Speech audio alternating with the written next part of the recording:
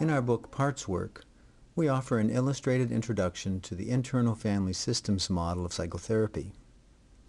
Through the use of over a hundred illustrations, this book offers a straightforward and simple approach to understanding ourselves and others using this IFS model.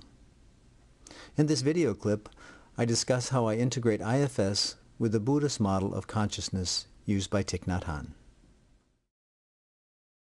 I started training in internal family systems in 1988 with Richard Schwartz.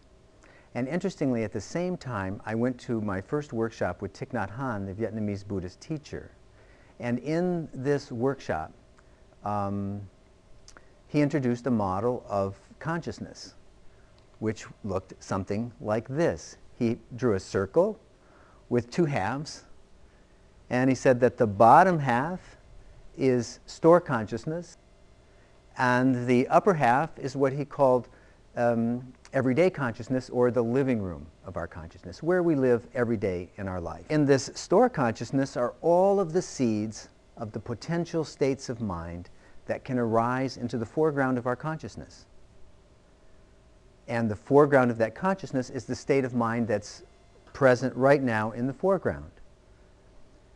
So it's possible that in your mind right now, you have a part something like this that's curious to learn something new. One of the ways that I really like the Buddhist psychology and the um, internal family systems model, the way they come together, is to look at the nature of how and why certain states of mind take over. And what the Buddhists say when the internal conditions and the external conditions support it, a particular state of mind will arise. So if we have a state of mind in us now, it could be fear, it could be anger, it could be joy, it's there because the internal conditions and the external conditions were such to support that arising. One of the things that we can do to change our internal conditions is to bring understanding into our system, right? So that we, that we can understand why are the parts there. And fortunately, there's a whole other state of mind that helps us do this rather than just our will, right? So, and that is the self. The self in this model is something that is um, a level, and one way to look at it is a level above the parts. It's a meta level. If we're in self, we have these states of mind. Like you say, well, how do I know I'm in self?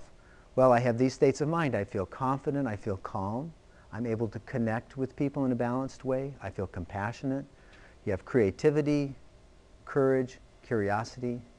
Now, sometimes parts have these feelings too, right? But these are feelings that are really in self. If you're not having these feelings, if you're having judgment or anger or fear or helplessness, if you're not knowing what to do, then you're not in self.